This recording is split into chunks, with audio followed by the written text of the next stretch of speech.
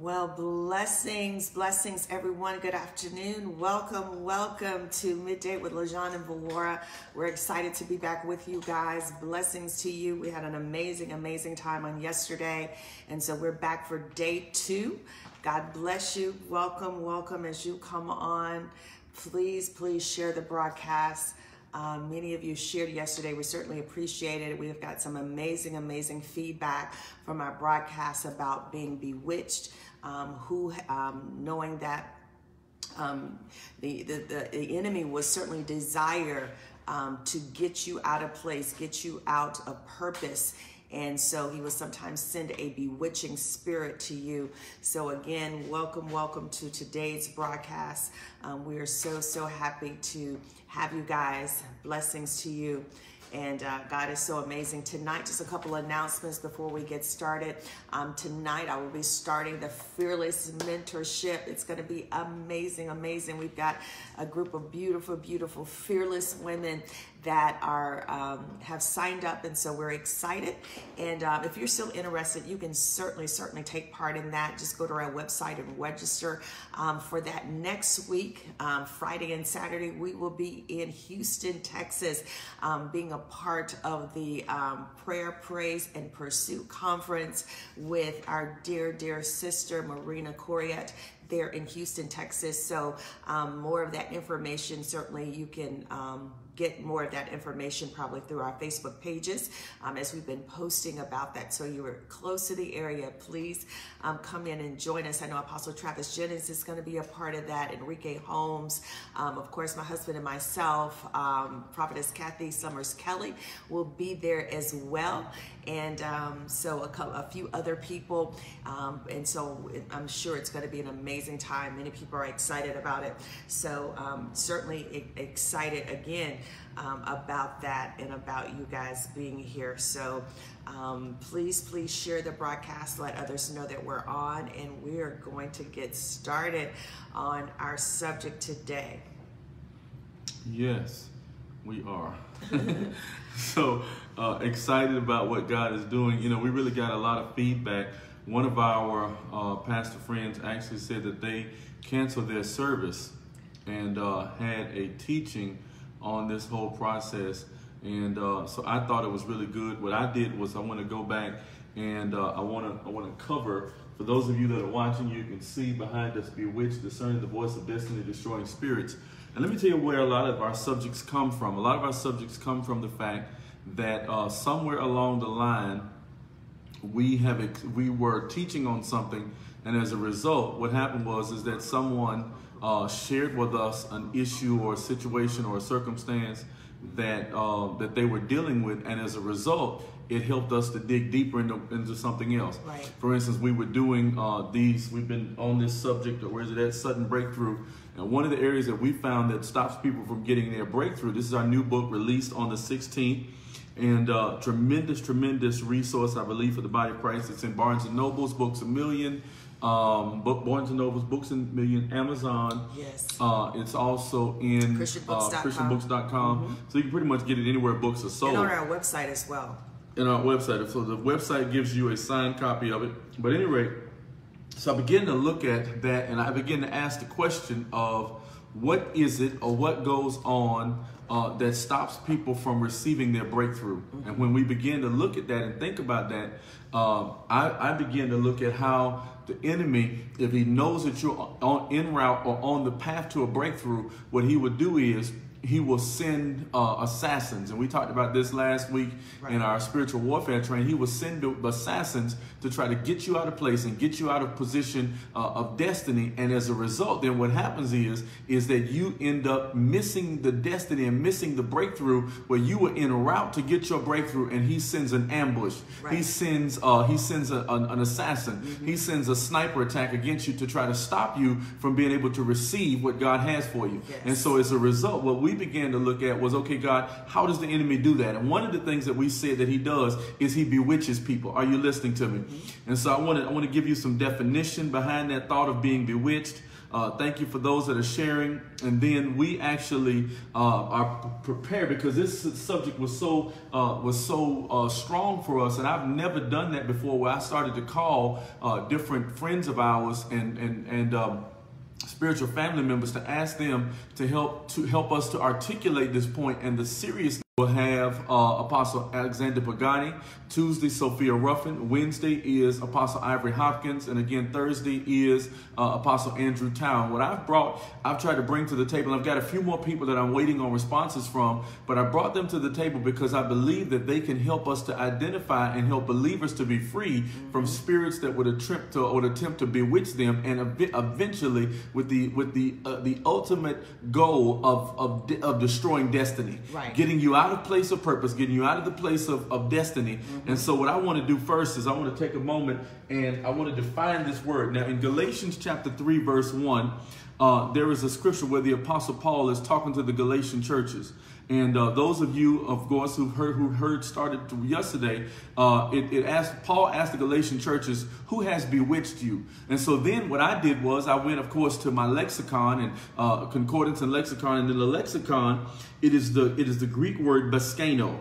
And so this word baskano is a Greek word. The Greek word bewitched is is, is or the, the Greek word baskano is the English word that we use, which is bewitched. Only used three times in uh, in the in the New Testament, only three times, and each time it refers to someone who has exerted some kind of poison or mind control over someone to get them to think or to do a thing a certain way. Now, check this out. Let's get to the root of it because I think it's important that we get to the root of the understanding of why this spirit exists and operates in the body of Christ. And then my wife, because my wife was a nurse for 24 years, I want her to talk about uh, what poison does to the natural body and what, what, what venom and poison does and, and how it affects our natural body. And then we're going to look at how it affects the the the, uh, the spiritual body in both the individual person and the body of christ. Right. okay? So let's look at this baskano it is a Greek word which means to exert an evil influence through the eye or bewitch, as with the evil eye. And then it goes on down. Uh, the, another one is to be resentful of someone,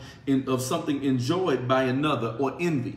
And so we find that the essence of much of what we see with this word baskano or to bewitch is, is the root of envy or jealousy or even uh, even covetousness. You can literally covet uh, the joy that somebody else has, and as a result, begin to operate as a witch. Okay, you you can begin to operate in witchcraft because your goal is to enjoy the same level of of, uh, of pleasure or enjoyment that somebody else is. Right. You can see someone, uh, and so I want to I, I, I'm going to I'm going to go to the scripture. Let's look uh, very quickly because we remember yesterday. Just a quick uh, recap of what we talked about yesterday. When we look at Paul's trip to the Galatian churches, it was his first missionary trip, uh, and the Galatian churches. It was not just one church it was a letter that was sent and it was read to all four churches, four, four, the, the four cities and churches that were in those four cities in a place called Asia Minor, which is modern day uh, Turkey. And so when we look at the text, uh, of Galatians chapter 3 and verse 1, he's speaking to these people Iconium, Lystra, Derbe, and Pisidian Antioch. Those are what those four cities. Right. And so as a result, it was necessary then for us to go to Acts chapter 13, where Paul actually takes this trip. Now, now interesting, Paul is writing the, the, the letter to the Galatian churches after his trip and sometime after. So check it out. But he, here's the interesting part. Uh, we saw on yesterday, we talked about Acts chapter 13. Of course, this is where they're at Antioch, Barnabas and, and, and Simon, that's 13 and 1, called Niger, and Lucius of Cyrene, and Manaen, which brought up with Herod the Tetrarch and Saul. And they ministered to the Lord and fasted, and the Holy Ghost said, Separate me, Barnabas and Saul, for the work I've called them thereunto. They laid, laid hands on them, they sent them out they, they first go through the island of Cyprus. And so they go through Paphos and Salamis, Cyprus, and then they take a boat to Perga of Pamphylia. And so they're going north. They get there. I think it's about an 80 mile walk from the coastline to the actual city. And so they go to these first four cities. In these cities, of course, uh, they were predominantly a Jewish community. And so it goes on to say, let's, matter of fact, let's look at Acts chapter 13. Um, in verse 42, and I read 42 through 45. And it said, When the Jews were gone out of the synagogue, the Gentiles besought that these words might be preached to them the next Sabbath. Now, when the congregation was broken up, many of the Jews and religious proselytes followed Paul and Barnabas, who speaking to them persuaded them to continue in the grace. Listen, verse 44. And the next Sabbath came almost the whole city together to hear the word of God. But when the Jews saw the multitudes, they were filled with envy. What was filled with what? Envy. envy. And so, and, and spake against those things which were spoken of by Paul, contradicting and blaspheming. And so whenever the bewitching spirit comes, it comes because of envy. It came because they saw the magnitude of the influence that Paul and Barnabas had as they came into that environment and that region, and people began to be drawn unto them. And as a result, people, be, they begin to bewitch, to find a way to bewitch the people to get the people out of place. Now I want to go to what you have as far as what poison does, then I'm going to come back and I'm going to show you other biblical uh, instances where this spirit is operating. Please share this with somebody because you may know somebody uh, who is either in your church, in your family, in certain areas of life who is who is who is who their envy and their jealousy of somebody else's uh, excitement or place in life is literally causing them to bewitch somebody. Are you listening? We want people to be free from and be able to discern the voice of destiny destroying spirit. There is a difference between the voice that comes to tell you that maybe something isn't good for you,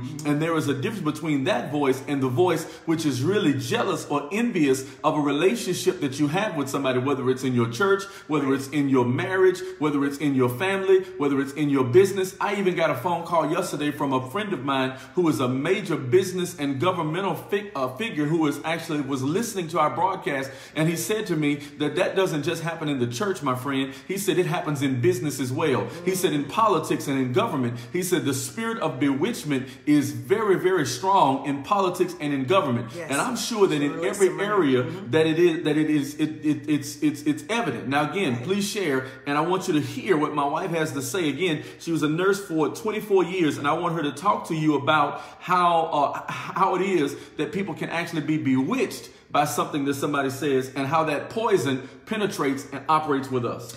You know, there are different, of course, types of venom um, according to the different reptiles, snakes, or whatever that um, it is um, has these certain venoms. But the hemotoxic venom is designed to assault the cardiovascular system. Um, cytotoxic venom targets specific sites of muscle groups, while neurotoxic venom goes after the brain and nervous system. And so what, what happens is a person becomes weak. The person uh, really, their body really begins to start shutting down. They become, they, they become, sometimes you can even become blind um, or deaf or mm. your, your senses really begin to be affected. And what happens is if it's not, if there's no intervention, if there's not an anti-venom immediately, then the person will die it, and it will come very quickly. Um, and so we, we understand it. So then the um, uh, hemotoxic venom will cause the bite victim to experience decreased blood pressure and blood clotting. So their, their blood begins to clot. And so when their blood clots, if the venom reaches the heart before receiving treatment, this is a big problem and usually results in death. So it begins to um, affect the heart if there's no intervention um, that takes place. So then we have the cytotoxic venom. It kills the human tissue as if any tissue dies, then it would have to be amputated so the goal of neurotoxic venom is to disrupt the function of the brain and the nervous system. This kind of venom can lead to paralysis and an inability to control one's muscles. So it's it's one of the things that a snake does, or, uh, or or some type of reptile that has this particular type of venom. They want to stop the movement of the of, of the thing that they've targeted. They want to stop your movement, and so once they release that venom, they already know that in just just a few seconds. And they don't they don't even they, they don't try to fight you. No they stay right there because they know within a short period of time that you're going to begin to be to get weak. You're going to be begin to not be able to move forward. You're going to stay right there where, where, where they bit you at. And so one of the things i begin to look at i begin to look at um, you know the effects of um, of, of, of venom, you know, even in the spirit and with envy, with strife, with even with bitterness. Um, we, we have to understand that it's like it's like a toxin which is which is deadly to a person's nervous system. As I said, the venom of a human victim results in severe pain. It results in blurred vision and eventually paralysis. Mm. So many times the person who's who has bitterness or envy desires others, especially those who hurt them, to experience pain in their life. Additionally, the person ceases to have clarity and vision in their spiritual walk. It doesn't matter how much they've been exposed to the word of God, their hardened heart prevents the word from ever taking root um, in their life. And so also um, envy and bitters is also pro- it progresses doing its work inside a person's heart and it causes spiritual paralysis. So when when when when you release that, when that is released, when you when you've been bewitched, it begins to enter into your heart and it causes your heart, glory to God, it causes your heart to begin to to, to not to to not function properly. And we know the heart is out of is is where our emotions are. It's out of the heart flows the issues of life. And so if you find a person that all of a sudden is, you know, they they're, you know, they're they're indifferent. They don't want to do anything. It seems like they're they're blind to certain things. It's like, my God, what is really going on with you? Can't you really see? But because they have been bit, and and the poison has been released inside of them then they they've been paralyzed their eyesight has has grown dim and sometimes they can even go blind their heart has been affected and so when their heart has been affected then they're they're not able to really understand or even really see or accept the truth because they believe the poison of the lie Wow. So so so so make sure let's let's bring this clear again. So the, the three or four things that they affect, they affect the mind and the clarity of the mind's thinking. Right. They affect the mobility of the person. So right. it produces a paralysis yes. in their, their ability to move forward and yes. really really be able to even even operate as they normally would. Yes. And then it can affect their vision, their eyesight. Yes. And the probably heart. even even the heart. Right. And the blood. And the yes. blood. And the respiratory system. Absolutely. And so their breathing is affected, their breath is affected, which means their spirit is affected. Because mm-hmm. the breath is symbolic of the spirit. And so the spirit is affected, the heart is affected, the blood is affected, uh, the mind is affected all of these things are affected by being bit by the wrong venom. Absolutely. And then what happens when a person is infected spiritually, they stop praying, they stop reading their word, they stop fellowshipping with other believers. Wow, isn't that amazing? So so this this subject and thought process of being bewitched is so much deeper than we think. We think yes. that Paul was just talking to the Galatian churches, but no, this is something that's happened throughout the Bible. Yes. When we look at the text of Scripture, we can see it. So let's look. Let's. Oh, go ahead. Go ahead. One of the other things, and, and we had shared earlier, is that sometimes a person can say something to someone, and they can say, "Well, you know, someone did this or someone did that," and they can be okay, and they can just walk away from it. But if that person already has a wound, it's more susceptible. It's more they're more susceptible to being infected. Wow. So okay, so break that down in the case. So sometimes they are, that that toxin is looking for an open wound. Absolutely. And Absolutely. especially as it pertains to to bewitchment, yes. because people that are looking to bewitch other people are looking for people who already have an open wound. Right. Such was the case even with what we talked about uh, yesterday uh, when we dealt with uh, even um, who was it? Uh, I think it was Absalom. Mm-hmm. Absalom went throughout the city. Second Samuel, I think it's 15. He went throughout the city and he found people who uh, who had a, a, a case where they felt as if though maybe they needed justice, mm-hmm. and so his his intent there was to grab those people and pull them to the side and tell them, if I were made king or if I were made a judge, I would I would help you. So right. they already have a wounded spirit. Right. So what we have to do is, and this is let me speak let me speak to pastors, let me speak to leaders for a moment. You have to identify people who already have wounded spirits or who have a propensity or a uh, and, and, and, I mean, if now you, you're a nurse, but you could even probably talk to me about, uh, even as it pertains to people's health, people who already have a predisposition. Yeah, uh, maybe an already weakened immune system. Okay. They may have something going on, you know, within their system, with their blood, with their vital organs. They may already have an issue going on in their respiratory system, and so they're already compromised. wow. So they're already compromised. And so then what happens is if something else attacks them, it completely wipes them out. Mm. As opposed to someone healthy. Wow. So, So that someone could even healthy. be so that could be babies. Yes. And people who have a predisposition Yes. in their family right. to those issues, or Absolutely. who have a preconditioning health condition. Right. Makes it even worse for them. Absolutely. Which means that if, if you if you are strong and in good health, Yes. you have a greater fighting chance. Absolutely. And if you get the antidote quick enough Right. and get healed and delivered from it quick enough, you may have a chance to live. Absolutely. Absolutely. So you look at it spiritually, those that are spiritually minded as opposed to those that are carnal. Mm-hmm. Because those that are carnal are weak in spirit. They're Wow. weak spiritually. So when things come to them, they don't have they, they don't have the, the, the immune, the spiritual immune system to reject it. Mm-hmm. Because people that are strong auto- automatically reject it, but people who Yes. are already wounded, okay, Yes. let's take it a little further.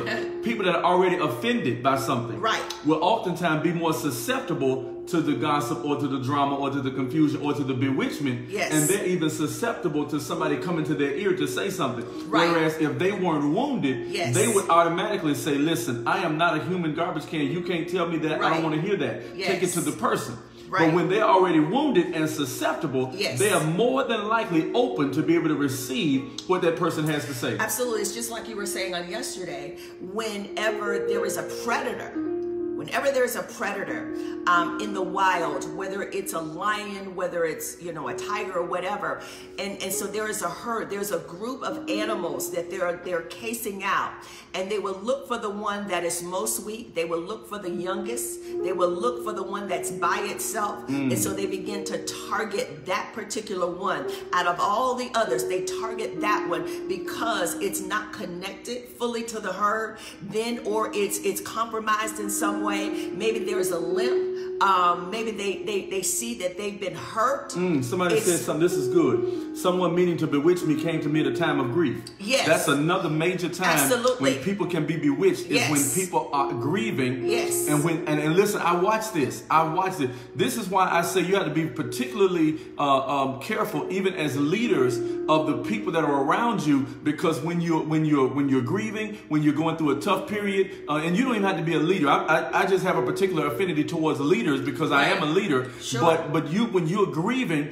you have to be careful who you let inside your circle. This is why, listen to me, this is very interesting. This is why when a soldier is wounded on a battlefield in the military, they immediately remo- they immediately assess that soldier's uh, you know his situation, her situation to find out the extent of the damage and then remove them to a place where they can add to an infirmary where they have the ability to deal with the infirmity that they're dealing with. Are you listening to me? And so they and they will not let them back on the battlefield until they're cleared. Right. And some of them never return to the battlefield. Why? Because they've been wounded and they're not in a position to adequately defend themselves against the attack of another, uh, potentially of another threat. Right. And so we have to, even in, in our organizations, in our ministries, in our business, in our environments, we have to watch and we have to see when people have been wounded, when people have been offended, when people have been affected by things. Because let me tell you what happens. This is the same thing when you look at, matter of fact, when I go back and I look at David's situation uh, with Absalom, Absalom did that because he was offended, because he did not like the way that David handled the situation with his sister and the situation with Amnon. And so as a result, he took it upon himself to literally destroy his brother because he didn't like the way his, his father handled the situation. And then he was upset with his father. And as a result, he began to try to bewitch the people, pull the people off to himself. And it literally caused David to have to walk across the bridge and leave the kingdom when God had already said that he was the king. But But again, the only thing that can happen to an Absalom, the only thing that can happen to a Jezebel, the only thing that can happen to people who are bewitching other people eventually is death. You know, absolutely. And what happens even in that situation, then um, the person becomes so insensitive. It, it really replaces the presence of God with hate, with bitterness, with strife, with envy. It begins to replace it with the presence of God. And so once the presence of God is no longer there, they're no longer convicted. Mm. They, they, they, they're, they're, they're no longer convicted. And so they just go on this rampage. They, they try to hurt as many people as possible. They try to wound as many people as wow. possible. They try to get as many people out of place as possible. Glory to God because of their own bitterness, their own envy, their own um, resentment. And so it is it is important that we begin to see, and that's why we've got to raise up intercessors. We've got to raise up shamar prophets and deliverance got, workers. And deliverance workers. You've got to get in position. You've got to get there because you've got to be so sensitive in the spirit. Your eyes have to be sensitive. Your ears have to be so sensitive in the spirit, not according to what your what your natural senses or what you can hear and see. No, you got to be able to see in the spirit. You got to be able to discern some things. And so, um, and that's before it happens. Before it you happens, got, you, you, you got to be keen because the prophet or the intercessor who only deals with and addresses things after it happens, right. you've already failed. Yes. And, I, I, and I don't want to put people. I don't want to. You know, the word "fail" is a strong word, but in reality, it is. Yes. It's like in the military. We talked about this again during, uh, during our spiritual warfare training, but we talked about how intercessors and prophets are our early uh, warning systems. Mm-hmm. Every nation and every military unit has early warning systems, and so uh, an early warning system is used to detect when the enemy is attacking prior to the enemy attacking. Mm-hmm. If the if the missiles and the bombs are able to attack us and, and, and they hit us, then we you weren't an early detection system. Mm-hmm. And so it's very important for believers who are prophets and intercessors to be praying. But you, let, let, me say this: one of the areas that the, that that the that that toxic and that bewitching spirit attempts to look at what Jezebel did. She always comes after the prophets. She's always going to come after the intercessors. She wants to be tied yes. to the money. She yes. wants to be. She wants to infiltrate these areas Absolutely. so that then she can cripple the whole organization. Absolutely, absolutely. And so that that spirit begins to target people in those specific key areas, and they look for the weakest one. They look for one that they can influence, or they've already had an influence over, mm-hmm. or relationship with. Mm-hmm. And so you you realize, and then what happens is then the person or people begin to have more an affinity towards the, the, the, the, you know, the one that is doing the bewitching, they don't even let leadership know. They don't even tell them what's going on. It's all hush hush. And by the time the leader finds out, it's, it's a whole full blown catastrophic massacre let me be transparent. Uh, I've been, we've been, we've been leading uh, organizations both in the military. I've, we've led organizations in the military, led them in the, in the, uh, in the government sector, uh, other areas. And what I found is, is that uh, there is this, there is this unwritten rule. Now I'm getting ready to help. I'm getting ready to help a pastor out here somewhere uh, because I, I didn't understand this, and I'm treading very, very, very, very touchy ground but at the same time, I think it's necessary because I want to help somebody. And so one, there was a scenario where somebody comes in and they bewitch somebody. And so the person comes in and they say, uh, listen, this is going on, that's going on, this is going on. The person sits and they quietly listen to the person the, the, the voice of the person who is bewitching them is going into their ear gate, going into their spirit. They're taking in the toxin, they're receiving it, and then it's they don't realize it, but it's literally going throughout their entire body. Then let me tell you what happens. Then this person, because, oh God, this is going to really be good, they now have been infected by the infection that the person has, and they have a connection with them. Now, when when you should have alerted the authorities that this that this thing is going on, what happens is now they feel a, a need to protect the person who infected them. Who protects a person that infects them unless the person is, is infected? Right. You follow right, what I'm saying? Right. And so the person that, that really infected, they're waiting. They're waiting to see how they're going to respond. Right. They're waiting to see how how you know if, if they're going to remain connected. They're waiting to see because they've been so calculated. Mm-hmm. It, it, has been so intentional. It, it's been intentional because with snakes, they bite you intentionally. Oh, it's the intent to kill you. To, to, to kill you. Because It- not and not and a lot of it because it's their defense mechanism. Right. The snake doesn't do it because it's necessarily a predator. Most times when people Yes. walks up on a snake and gets bit by the snake is because the snake felt that it was defending itself because it felt that it was vulnerable and that was the only way to be able to uh, to to, uh, to be able to deal with it. Are you listening to Absolutely. me? That- that- that- that's amazing. Yes. Then now now again going back to my thought. So now the person but the only way to cure the, the infection and stop it from spreading and becoming an epidemic is to know where it where it started from. Right. But oftentimes, especially when you're dealing with bewitchment, people don't have a tendency to want to tell who the person was that that, that, that actually started the infection. Mm-hmm. They'll try to cover this person. I've seen this happen more times than one. Well, I'm not going to say any names, but you didn't have a problem saying the name when you were talking about the, the, everybody else. Right. But then when it when it comes back to you thinking you're going to be uncovered because you actually had a part in it too, Right. now all of a sudden you want to say no names. I'm gonna get in trouble. It's all right, but uh, but go ahead and finish that part, and then I want to I want to cover something uh, that I read in another book, and I'm gonna give you more scripture for this and show you more cases and more examples. I'm enjoying teaching this today, and uh, I'm really excited. They got that cover for that uh, for that book done. Bewitched, uh, discerning the voice of destiny, destroying to just spirits. look at some of the um, some of the comments. Yeah, take the head of Jezebel off. Yes, yes. This is so. Just looking at some of the the different comments is just really amazing because you realize that you know how the enemy works, and sometimes we don't realize God what is really going on. Even someone was saying that it happened to them because you know right after they had suffered a loss um, in one of their family members, and so we, God wants us you know to be aware. He does not want us to be ignorant concerning Satan's devices. Amen. So listen, let me give you a couple more uh, scriptures for this. So Acts chapter 13, we talked about this one yesterday, but it seemed that everywhere Paul and Barnabas went on that first missionary journey, those people followed them. So remember we were reading Acts chapter 13, verse number, uh, verse, I say 44 and 45. And the next Sabbath came about the whole city together to hear the word of God. But when the Jews saw the multitudes, they were filled with envy. Again, that same word, because the word baskano uh, is a word which, it which literally, listen, which the root word of it is the word envy.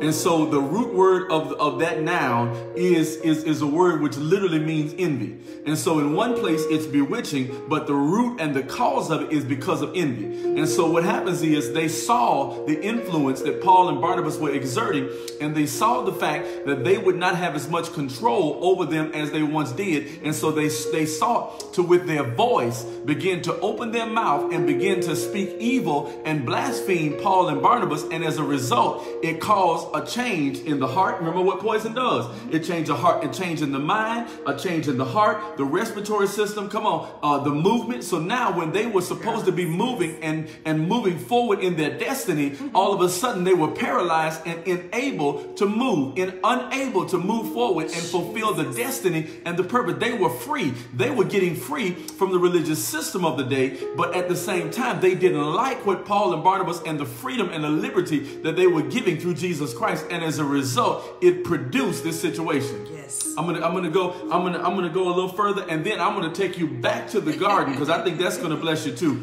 And again, all this stuff will be in the ebook. But anyway, let's go down to verse 50 and it says, But the Jews stirred up the devout and honorable women and the chief men of the city and raised persecution against Paul and Barnabas and expelled them out of the coast.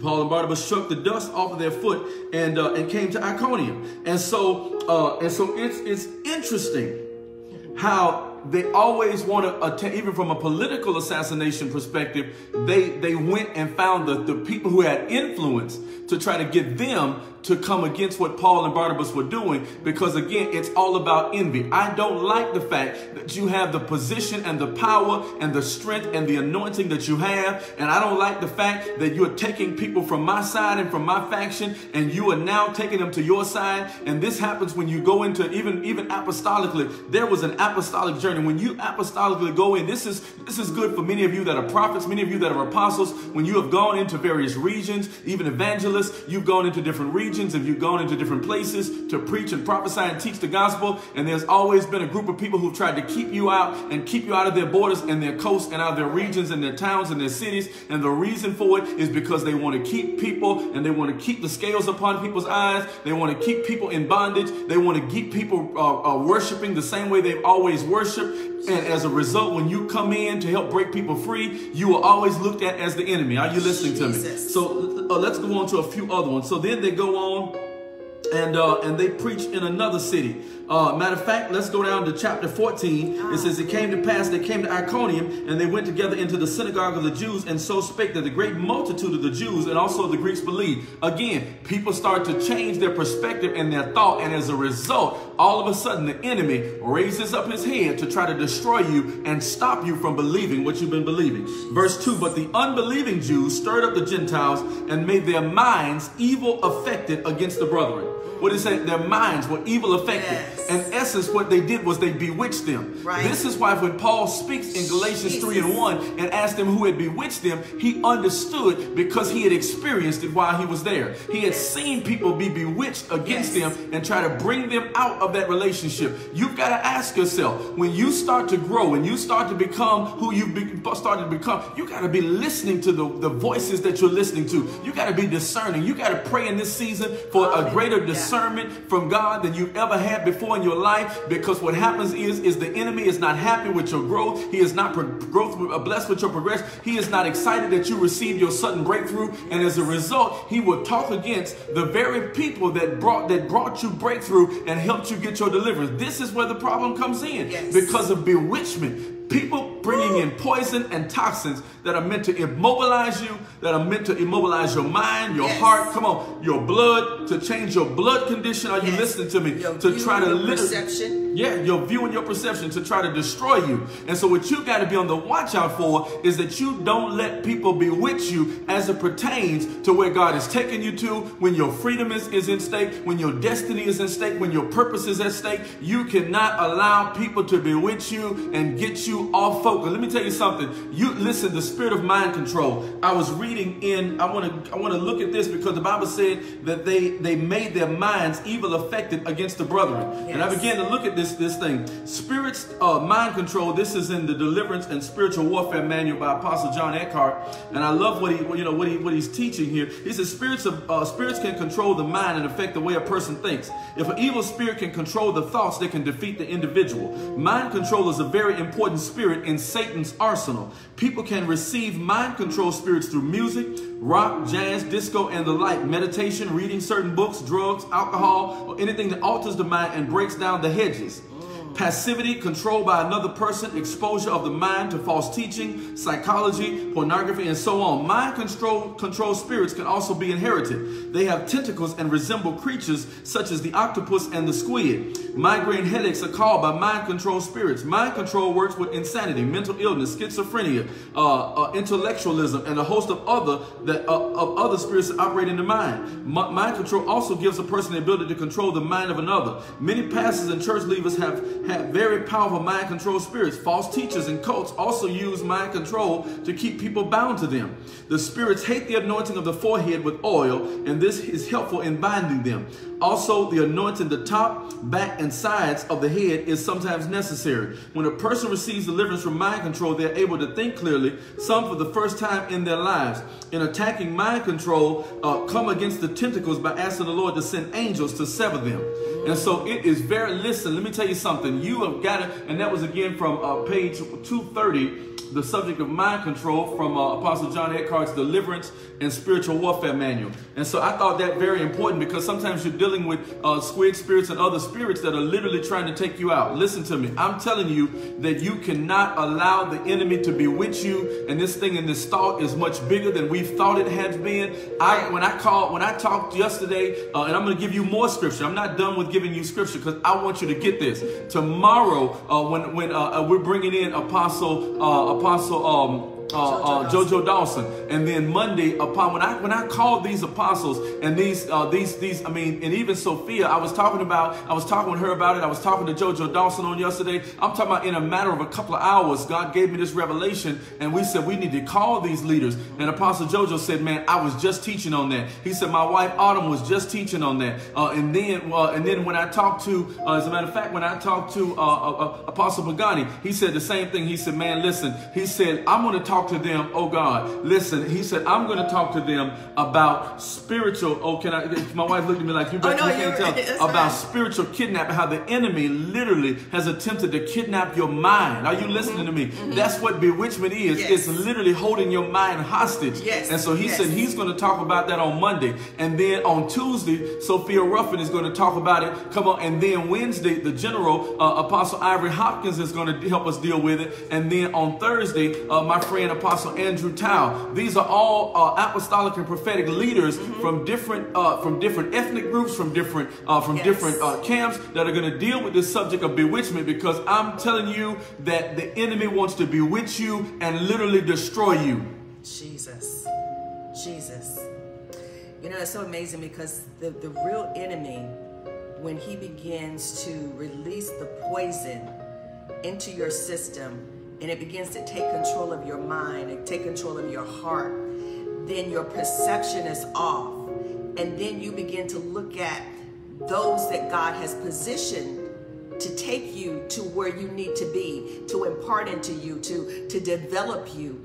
Then that poison causes you then to, to look at them as the enemy. Right. But you know, that's exactly what happened. Absolutely. Look at the scenario. This is exactly what Paul and Barnabas went through. They began to look at them as the enemy. And so it, it raised up that enemy. Mm-hmm. And then, verse uh, in Acts chapter 14, verse uh, 18 and 19, and it's so uh, in verse 19 it says, And there came thither certain Jews from Antioch and Iconium. Listen, them devils actually followed them. Are you listening to me? Those guys actually followed them and, and they followed them to the next city. And the Bible said, Who persecuted persecuted the people and having stoned Paul, drew him out of the city, supposing that he was dead. And so it's very important that we that we that we be careful and we be cautious with this whole process because what will happen is this enemy's intent is to destroy you. Right. This enemy's intent is to get you off focus and get you out of purpose, get you out of destiny. And let me say this, this spirit goes all the way back to the Garden of Eden. Yes. This yes. spirit goes all the way back to the Garden of Eden. It's it's it's a spirit. Listen, when I look back, let me go to Genesis 3. Go, uh, keep talking while I go to Genesis you know, 3. It's just so amazing. This um, woman God has been been commenting from Europe and just saying how she's dealt with it. She and her husband has dealt with it, and it that's how it was. It followed them from city to city, and so now they don't necessarily always follow you from city to city. They call you, they inbox you, you know. Oh, yeah. So they're trying whatever means to try to get get you know to release that poison, you know, so that you're not able to move forward and not able able to progress because that's that's the whole thing um, of the enemy. He doesn't want you to progress. He really, the devil really wants to kill you. He wants to kill your momentum. He wants to kill your ministry, your marriage. He wants to kill your influence so that other people would not receive the benefit of what you have to offer. That's it. Listen, uh, you know, I, am looking at this thing. Somebody asked where would the speakers be? Uh, it's going to be on Facebook because there's no way we can on, do it on our broadcast on here. our broadcast here Periscope. at one o'clock. Yeah. Uh, because it, it won't be. We can't do it on on Periscope, unfortunately. Because okay. but we'll be able to broadcast from Periscope and you'll be able to listen. Amen. Mm-hmm. And so, but then uh, let me look at this. Uh, when when when now see again, it's a, envy is the essence of the of the whole process. So when we look at Adam's relationship to God, it was a relationship where they talked.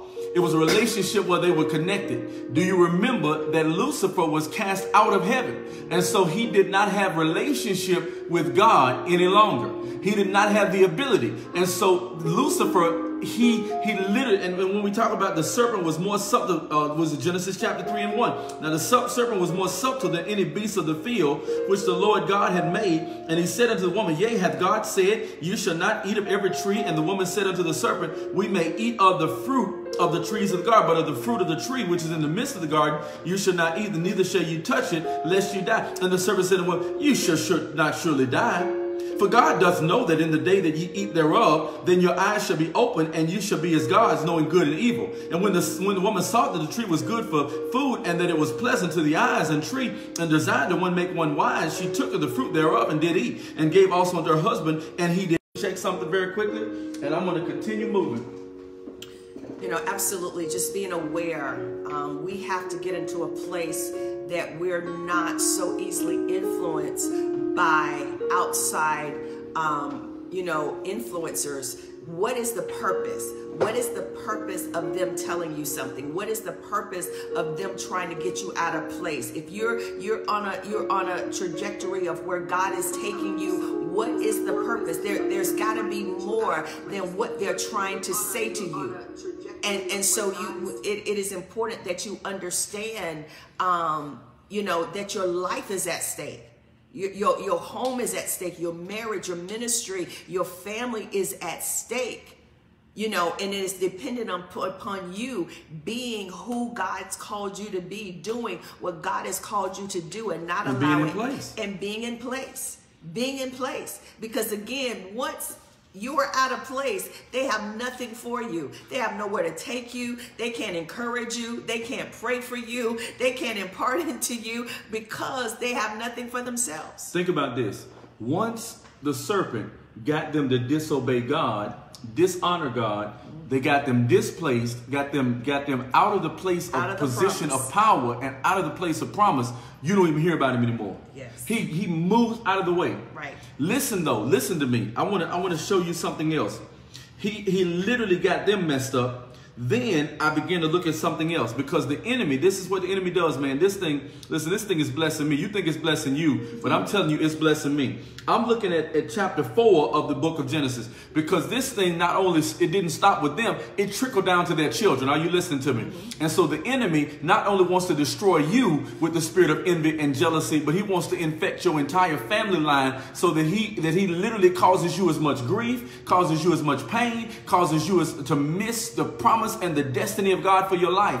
And so he was jealous of Adam's relationship with God, and Right. as a result, he envied the relationship where they walk, he walked with God in the cool of the day. The, the enemy, he is envious of your relationship with God, and he'll literally send assassins to get you out of place.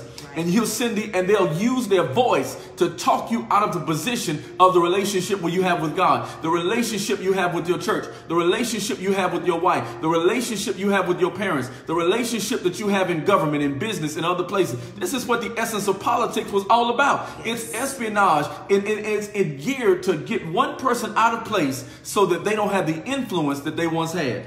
Let me give you another one. And, the, and Adam knew Eve and his wife, and she conceived and bare Cain, and said, I have gotten a man from the Lord. And she again bare his brother Abel, and Abel was a keeper of the sheep, but Cain was a tiller of the ground. And in the process of time, it came to pass that Cain brought of the fruit of the ground an offering unto the Lord, and Abel he brought of the firstling of the flock and of the fat thereof. And the Lord had respect unto Abel and to his offering, but unto Cain and his offering he had not respect. And Cain was wroth, and his countenance fell. And the Lord said, And why thou wroth, and why thou countenance fail? If thou doest well, shalt thou not be accepted, and if thou doest not well, sin lieth at the door. And unto thee shall be his desire, and thou sh- and he shall rule over him. And Cain talked with Abel his brother, and it came to pass when they were in the field that Cain rose up and, and against Abel his brother and slew him. Why did he kill? Because of envy, envy and jealousy, because of the relationship that he had With and the respect that God gave him. But he could have had the same thing. If he had done the same thing. If he had done the same thing, Listen. he could have had the same thing. listen. Envy and jealousy will literally get you out of place Jesus. and will cause people to want to be with you. Yeah. in Galatians 3 and 1. And we've got countless stories, uh, even in the text that we've looked at, that of people who have gotten out of place because they listened to the wrong voice, because they a person envied a, a certain thing. Listen, people are sending assassins. This is what happened with Samson and Delilah. The, they sent they, the people sent uh, the Philistines sent Delilah. They paid her. They, they, they gave her something to literally get into his ear. So they poisoned her and she uh, poisoned her mind against Samson. Listen, you, you mean to tell me that you, that you've been sleeping with the enemy? That, it, that the enemy has infiltrated the very person that sleeps with you to destroy you and to kill you? Absolutely yes. People listen, the enemy is not playing fair. He's trying to get he's getting into people's ears and he's destroying you. That our pillow talk, our entire uh, premise behind pillow talk was not just to make sure that you know that, that marriages were strong. It was to try to destroy the voice of the enemy that's used to destroy marriages and relationships. Right. And so you look at this situation with Judas. Judas was listening to the voice of greed. Come on. You can even, I was talking about it yesterday, you can even be bewitched by your own voice. There can be a voice that rises up inside of you. Look at Cain and Abel. There was a voice of jealousy that rose up in him. The voice of envy rose up in him. Nobody had to tell him to kill his brother. His envy was what rose up in him to want to kill his brother because he envied the relationship that he had with God. So the whole root, uh, the, the root of Biscano, the root of bewitchment is envy and jealousy and covetousness. Yes. People, listen, there are people that have actually infiltrated. Yeah. They've Right. infiltrated your, your government organization. They've infiltrated your, your, your, your, your, your church. They've infiltrated your ministry. They've infiltrated your family. And they're just waiting for the right time to strike. Yes. Come on. Yes. This is what happened with David and Absalom. The, the Bible said that it, David said it was my own familiar friend. You remember Ahithophel was Bathsheba's uh, was Bathsheba's uh, grandfather, and so as a result, he was he was there was still some woundedness and hurt that was there from what happened with Bathsheba and Uriah. And so as a result, he didn't like the way things happened. Absalom was in the position he was in because he was he was already hurt by the fact that his father didn't do some things the way that he, the way that he wanted him to. Yes. So you gotta you gotta look at that. You even gotta look in your own life and say, where am I susceptible for the enemy to use me to cause bewitchment in the life of somebody else? My God. Where do I have uh, in proclivities and injuries and wounds and offense that I haven't dealt with? Right. Come on. Right. That's on my questionnaire now for people that come to our church. Listen, with, with, with the, the last church you were at, how were you wounded? How did the last per- uh, uh, pastor offend you? How did the last pastor hurt you? I've, I've never discussed this on an open forum, but one of the things that I do is I watch and I listen, and I tell many of my pastor friends, I said, if somebody comes to your organization or your church and they've got everything negative to say about the last church they were in or the last pastor, let me tell you something. It's only a matter of time. In my listen, I can count on paper and I can show you statistics of people that if they come, and sometimes as pastors, we're just so happy to get new people, and we're so happy that new people are joining our churches, but we don't do the we don't do the research to see. This is why uh, it- it- you know countries have immigration processes. That you gotta any country we go to, we have to go through customs and immigration to be able to see what our passport is Yes. and see what country we came from Why and see here? whether we're in good standing with them to know why they're there. And we need to do the things, the same thing spiritually. We need to be able to check people out. Why are you here? What's your purpose? Who sent you here? Because whenever God wants to bless, God will send people. And whenever the enemy wants to wants to curse you, he'll send people too. Yes. Yeah. So it's very important. It's very important for us to look at this. It's very important for us to see who the people are that are coming into our lives, not just our churches, but into our individual lives. Listen, who are the people that are sent to you? Who are the people that are coming to touch? Why does that person want to be such a good friend to you? Why do they want to tell you everybody else's business? Why is it that they're always whispering with you? Well, let me call you. And, and you know they've never called you before. Right. You know they don't really call you. As a matter of fact, they didn't even like you when y'all were when y'all were sitting right beside each other. They didn't even talk to you, but now all of a sudden they want to call you and they want to talk to you. They want to be with you. Yes. Yes. And the amazing thing is once they get you out of the garden, once they get you out of your place of purpose, once they get you out of your place of destiny, guess what happens? They're gone. They're gone. Go ahead. I want to find. I'm going to find this thing real quick. I want to share with them because I think I think this is this is gonna this is gonna bless somebody. Uh, I'm gonna find this this story. Um, Right, because you know, even with that bewitching spirit, it, it really, of course, it seeks to uh, release harm, um, and how how it can um, how it can destroy you, destroy relationships, um, get you into a place where you're you're alone, you're isolated. Um, if it can divide you, it certainly can destroy you. And so we've got to we've got to really maintain our life support system. We've got to maintain our relationship. We've got to, you know, maintain the accountability. And whenever we get to a place where we're no longer accountable, then we are certainly susceptible um, to being destroyed. We're susceptible to the enemy wreaking havoc in our life. And many times what happens is because, you know, there are people I'm sure on here and say, wow, that would never happen to me. But unforgiveness will cause a root of envy and bitterness to take place in your life. And if we don't deal with unforgiveness, if we don't really deal with those issues, those wounds, and that's one of the things, even tonight, I'm going to first start talking about um, in this mentorship program because we don't realize the things that we've gone through and suffered through in, pa- in past times affect us now and it will continue to affect us. And if we don't deal with the wounds if we don't acknowledge them recognize this is what it is because a wound um, it will always begin to manifest in various ways. Sometimes it's through anger sometimes anxiety sometimes um, it is self-sabotage sometimes it is it, it is a number of different things that will take place in your life that you begin to exhibit these emotions. Emotions and and you and and let me tell you something. The people that have uh, allowed themselves to bewitch other people i don't believe that all of them was truly bad. They were truly no. evil. I really believe that these people had a good heart they really at one time loved god but they allowed bitterness through unforgiveness to take root in their life and they couldn't get past it that's it they couldn't get past it. That's it. it. And, and they're wounded and they're hurt. They're wounded. Yeah, and the real essence of the thing, of course, is the enemy. The enemy. Who wants to get you out of place. Absolutely. Listen, I wanna I wanna I was looking at a couple of scriptures, you know, and, and right, they, they say that oh, right, oh, because the devil didn't leave heaven by itself. Right. No, no, no. He talked a third of the angels. Yes. This is this shows you how seducing this spirit can be. Mm-hmm. This spirit of bewitchment is so seducing because it makes it seem as if though it's right. Right. It may listen if uh, if the if Lucifer could could talk a third of the angels out of heaven, then then listen, we're, we're no match. They know what it's like to be in the very presence of God 24 hours a day, seven days a week for years. Right. And he talks them out of the very place Come of on. being in the presence of God. Talks them out.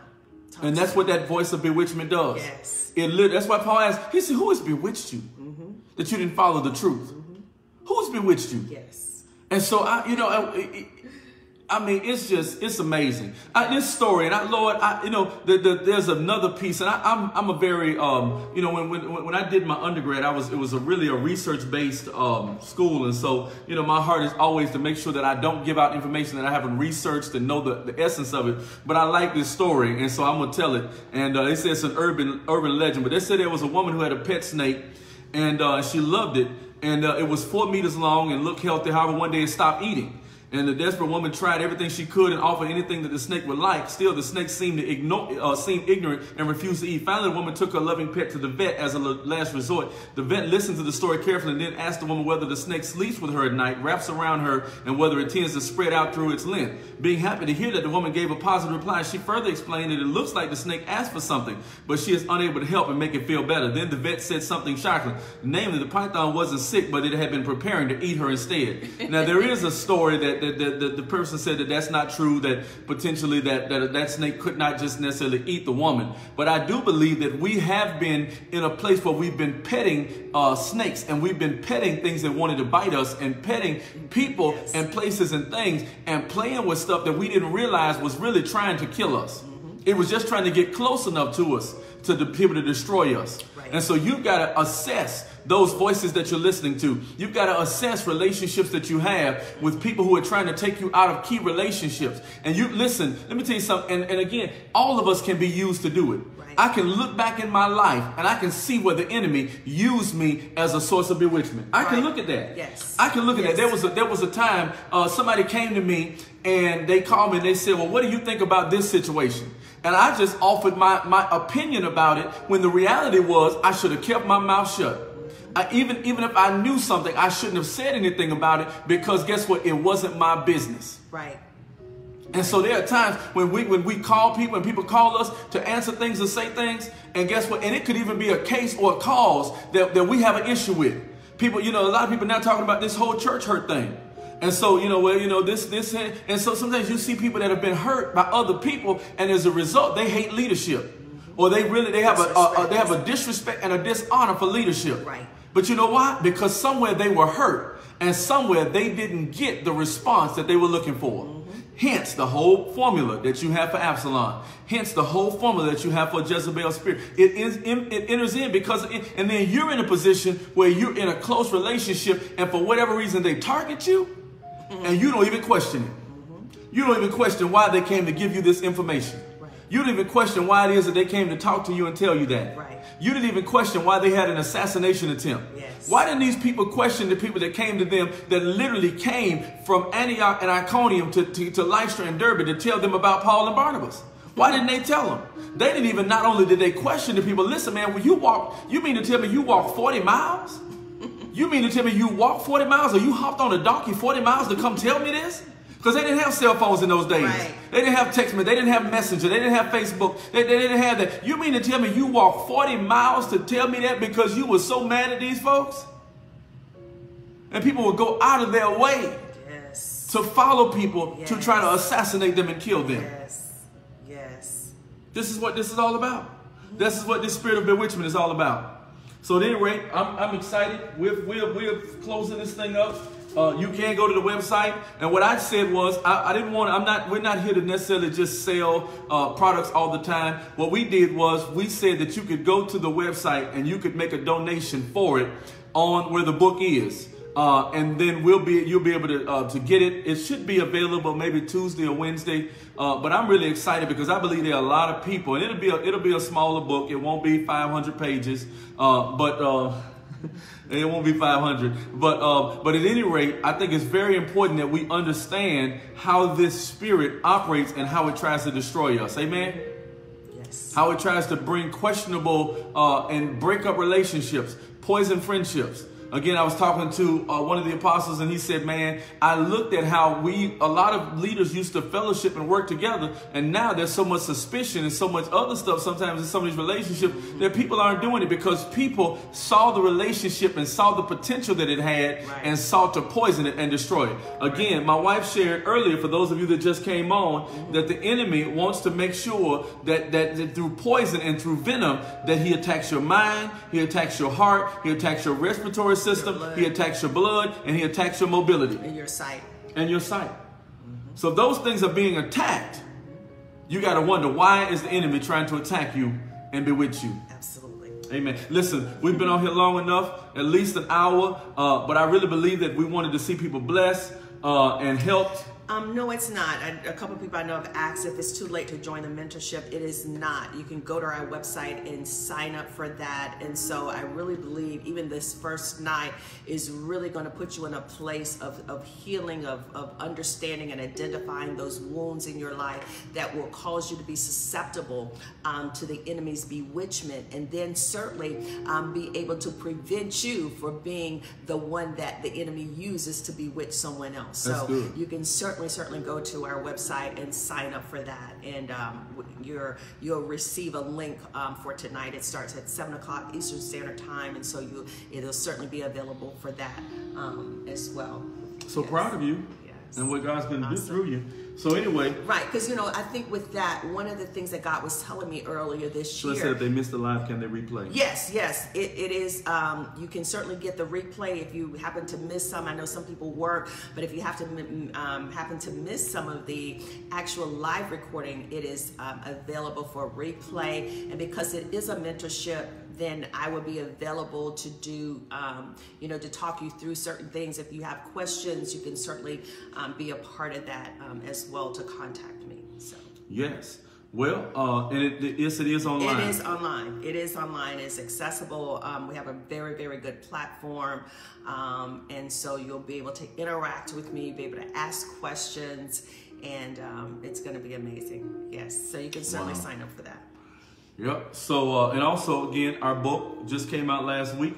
Um, Sudden Breakthrough. It's doing really, really good.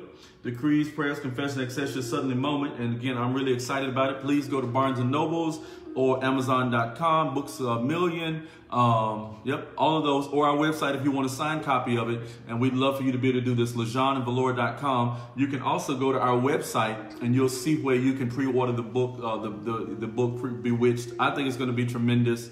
Uh, I think it's just a tremendous resource because I think that so many people are uh, or have been bewitched, and you can see the sign, the the the, the, um, the graphic behind us. You know, I really like it uh, because I really want to see people free.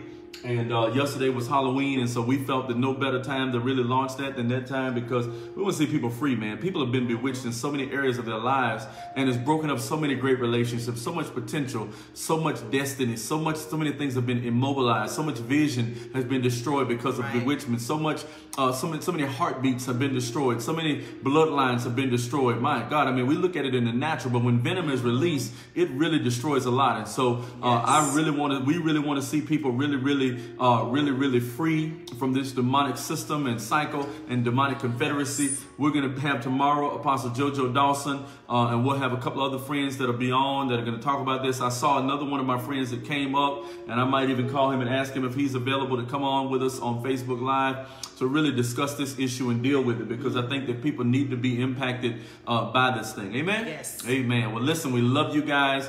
Thank you so much, every each and every one of you. This is starting a new month. And uh, we really believe that this month, these last two months are going to be tremendous. Uh, thank you for those uh, that, that follow us. Thank you for those that sow into us. Thank you for those that partner with us. And, uh, and we just want you to know we love you. We bless you. We thank God for you. And we're excited for your new season.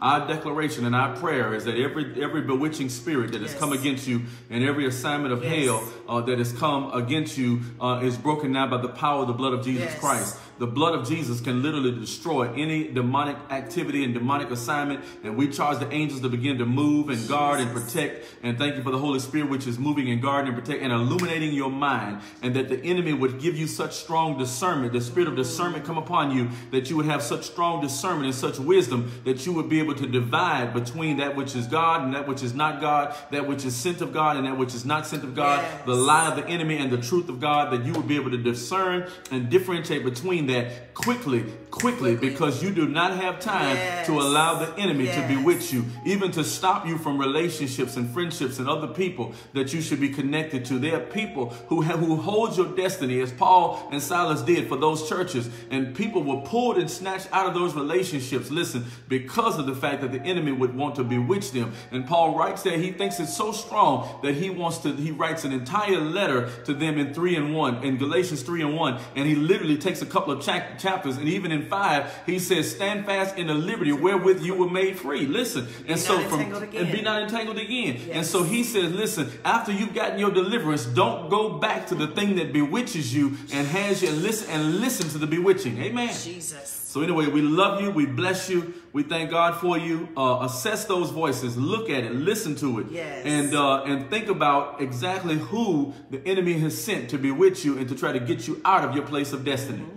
And when you find out, shut it down. Shut it down. And then if the, if people call you and say, "Hey, well, what do you think about this?" Sometimes baiting people are baiting you into being yes. bewitchers. Yes. And so you can't let people bait you into being bewitchers either. Yes. Come on, because they have a, a, an assignment to cause harm mm-hmm. and, and and and further immobilement to the body of Christ. Yeah, Portia, I like that. Poison the potential. That's it. That's what the enemy wants to do. That's it. Absolutely. Well, listen, we love you. Portia, with your permission, uh, uh, uh, prophetess, uh, we're going to use that uh, and we're going to throw that in there for, as one of the comments, and I'll give you credit for it. Amen. Uh, yep. Yep. Shut it down. That's right. Shut it down. Amen. Well, listen, we love you, and we will talk to you soon. Blessings and prayer and, and glory be unto the Lord on your behalf. Amen. Amen. Thank you. We'll see you guys um, tomorrow. Uh, Apostle um, uh, Jojo Dawson. Monday, Apostle Alexander Pagani. Tuesday, Sophia Ruffin. Wednesday, uh, Apostle Ivory Hopkins. Thursday, uh, Apostle uh, Andrew Tao. And we got a couple more that are coming. I'm excited. Yes. Listen, love you guys. We'll talk to you tomorrow. Amen. Bye-bye. For those that are part of the mentorship, we'll be back here tonight at 7 o'clock. If you want to sign up, go ahead and go to our website. Love you guys. Bye-bye.